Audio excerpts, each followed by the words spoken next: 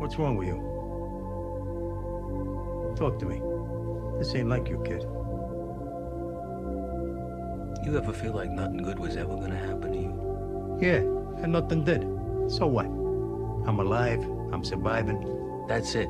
I don't want to just survive. It says in these movie writing books that every character has an arc. You understand? Like everybody starts out somewheres, and they do something, something gets done to them, changes their life. That's called their arc. Where's my arc?